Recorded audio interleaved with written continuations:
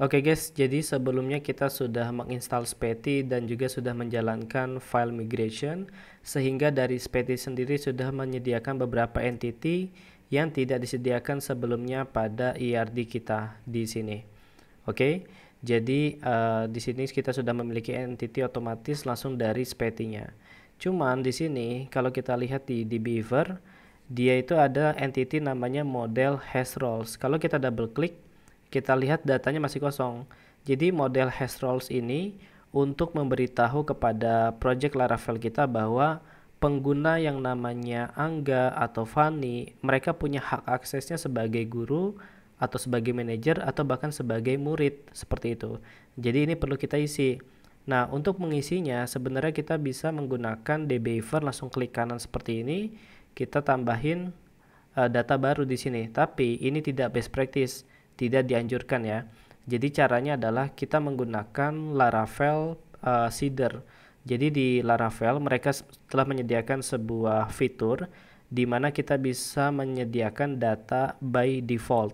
Jadi ketika project Laravel ini nantinya diupload kepada server mana pun dan ketika kita menjalankan command tersebut dia akan mengisi dan melakukan proses uh, insert data kepada database tanpa kita harus melakukannya secara manual menggunakan dbeaver seperti ini.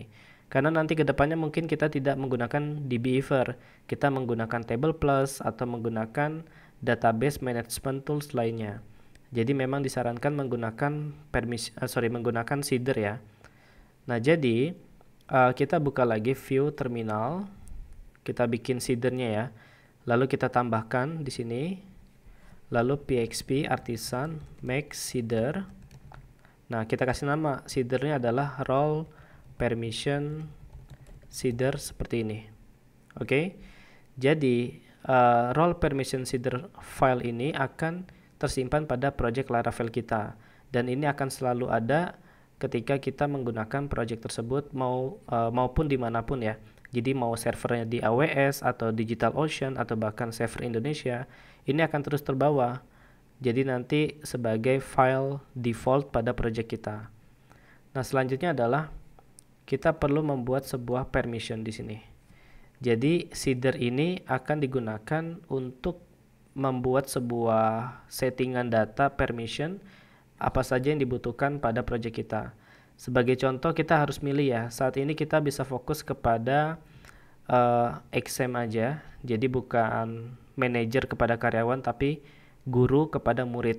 Jadi kita harus pilih salah satu studi kasus walaupun bisa dipakai keduanya. Kita pilih satu aja biar nggak pusing. Jadi untuk sekarang sistem yang kita bangun adalah untuk guru kepada murid ya, seperti itu. Jadi di sini kita bikin dulu arraynya jadi permission apa saja yang mau kita atur. Kita menggunakan data tipenya di sini array.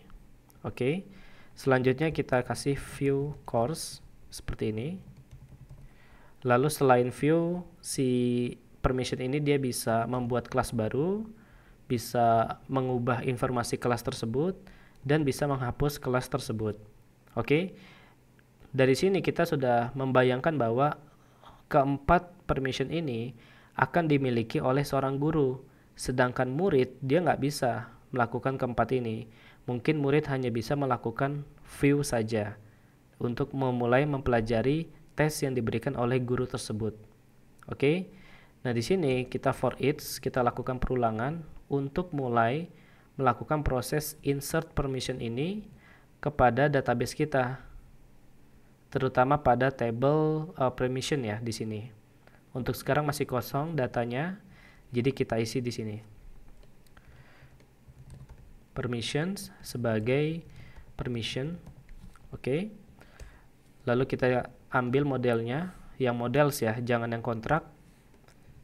Lalu kita create di sini. Atributnya adalah name, ya di sini ada atribut kalau kita lihat pada settingan ERD-nya ada name di sini. Jadi kita masukin name di sini permission. Oke, jadi seperti ini. Jadi ketika seeder ini dijalankan, pertama dia akan deklarasi beberapa uh, permission yang mau kita tambahkan Terus di sini proses input kepada entity tersebut. Ya. Tapi kalau teman-teman mau nambahin lagi misalnya di sini nambahin uh, kode voucher, kode promo, uh, terus juga menambahkan reward untuk student itu boleh ya. Jadi untuk sekarang kita coba empat dulu aja. Ke depannya kalau mau ditambahin beberapa fitur lain itu bisa langsung dari sini. Oke, selanjutnya adalah kita masuk kepada tahap pembuatan role. Role dan permission itu beda ya. Satu role bisa memiliki 10 permission satu role lagi bisa memiliki 9 permission. Jadi setiap role permissionnya itu beda-beda nanti.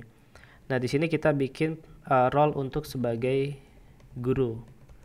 Role kita ambil yang model ya dari Speti. Kita create seperti ini. Atribut name-nya apa? Di sini sebagai guru, berarti teacher. Kita pakai bahasa Inggris ya. Nah, selanjutnya setelah kita berhasil membuat role teacher, kita assign. Teacher ini dia bisa ngapain sih?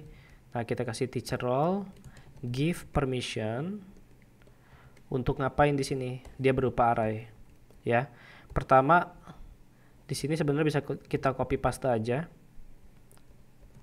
Karena teacher ini akan memiliki seluruh permission ya. Jadi kita langsung copy paste dari bagian permission di sini. Oke. Okay? Selanjutnya adalah kita membutuhkan role student. Di sini kita ganti aja menjadi student role seperti ini. Tidak lupa di sini diganti dengan student dan permissionnya itu dia cuma bisa view, nggak bisa ngapa-ngapain. Nanti kalau student dia bisa menghapus kelas nggak jadi ulangan ya. Jadi uh, view aja di sini. Jangan sampai salah ya. Ada teacher, ada student. Tapi ke depannya nanti kalau kalian mau nambahin misalnya student dia bisa ngedit jawaban, itu ditambahin di permission edit jawaban, terus kita assign ulang di sini, misalnya edit jawaban seperti ini. Oke, untuk sekarang kita bikin view terlebih dahulu seperti ini. Nah selanjutnya adalah uh, di sini kita bikin membuat data user super admin ketika project ini nanti kita upload kepada server ya di AWS ataupun DigitalOcean, kita perlu memiliki sebuah akun super admin yang dapat mengelola data awal. Jadi kita nggak usah daftar dulu. Jadi udah ketika projectnya di-upload ke server, dia sudah memiliki salah satu akun admin yang bisa langsung kita gunakan. Jadi ini bisa kita masukkan kepada role aja, role permission seeder, user, user create seperti ini. Lalu ada name. Di sini kita kasih nama aja Fanny ya sebagai guru. Terus ada email. Emailnya ini akan kita gunakan sebagai proses login nantinya. teacher.com atau di sini kalian bisa menggunakan nama sekolah nama perusahaan. Misalnya nama sekolahnya di sini SMA Bandung seperti ini tapi sementara saya kasih nama teacher aja. Terus kita membutuhkan sebuah password ya. Dan di Laravel kita harus encrypt passwordnya menggunakan bycrypt seperti ini. Passwordnya saya isi 123, 123 dan juga 123 seperti ini. Nah, karena di sini dia akun super adminnya sebagai guru, di mana nanti guru ini bisa menambahkan kelas baru, melakukan modifikasi, menghapus.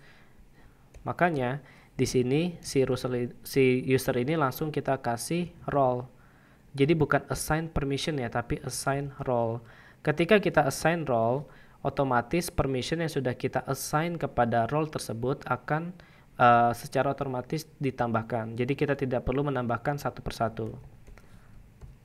Oke, kita coba review. Pertama kita bikin permission. Di project kita bisa ngapain aja sih? Salah satunya adalah bikin kelas baru. Oke. Lalu kita simpan kepada entity permission karena nanti akan kita gunakan ketika membuat sebuah role terbaru. Kalau role-nya sudah dibikin, kita bikin satu akun sebagai super admin atau sebagai guru. Lalu kita assign role yang sudah kita bikin sebelumnya di sini, yaitu adalah sebagai teacher. Oke. Nah, kalau sudah seperti ini bisa kita simpan dan nanti kita masuk kepada database seeder untuk kita jalankan. Oke okay guys, sebelum kita daftarkan role permissionnya kepada database seeder, ada salah satu seeder lagi yang perlu kita bikin yaitu adalah kategori. Kalau kita lihat pada susunan database kita, di sini kita memiliki sebuah entity kategori ya, sorry di bagian preview. Dia ada kategoris seperti ini. Dan data kategori ini akan digunakan oleh setiap course atau subjek ya. Jadi tanpa adanya kategori, nanti kelas ini nggak bisa dibikin. Nah, berarti kita perlu bikin seedernya terlebih dahulu. Jadi di sini kita buka terminal lagi, view terminal, terus kita bikin lagi adalah kategori seeder. Kategori seeder seperti ini. Oke. Selanjutnya kita bisa buka dan di sini kita bikin uh, db table kategoris ya. Karena nama tabelnya adalah kategoris. Di bagian ERD kita di sini kategoris. Tapi dia harus huruf kecil semua ya. Terus kita menggunakan method namanya insert. Dan tipe datanya adalah berupa array di sini ini tidak lupa untuk bagian DB nya kita import dulu karena kita akan melakukan transaksi baru ya. Jadi kita kasih name. Di sini kategorinya apa aja boleh. Terserah uh, sesuai dengan kebutuhan project kalian. Misalnya saya tambahkan website development seperti ini ya. Atau mungkin uh, sorry programming aja ya biar dia lebih general. Terus di sini kita ganti Slack lalu selanjutnya kita butuh created at. Kita jalanin uh, helper dari si karbon ini. Now seperti ini ya.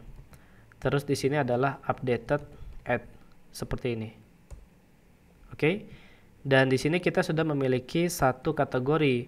Mungkin project kita membutuhkan beberapa jadi kalian bisa tambahin seperti ini di sini saya sudah memiliki tiga kategori ada programming ada digital marketing, terus ada juga product design. Kalau kalian mau tambahin lagi juga boleh.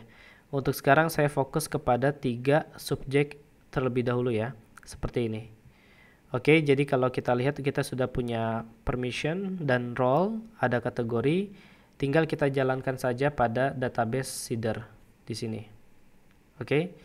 Nah, selanjutnya adalah uh, di sini berarti kita bisa panggil aja this call. Oke okay, role permission seeder seperti ini. Ya. Terus juga kita perlu menjalankan juga untuk yang bagian kategori. Uh, di sini kita harus bungkus dengan array ya karena kita memiliki dua permission yang perlu kita import. Yang kedua adalah kategori seeder kelas seperti ini tapi seeder ini sebenarnya tidak bisa kita jalankan untuk yang kategori. Kenapa? Karena kita belum memiliki sebuah entity ya. Jadi di sini kita belum bikin entity-nya pada dbeaver. Ketika dijalankan nanti dia error. Karena dia tidak menemukan table yang namanya adalah kategoris seperti ini. Jadi nanti selanjutnya kita bikin entity-nya terlebih dahulu, baru kita jalankan kedua seeder di sini. Alright? Bye.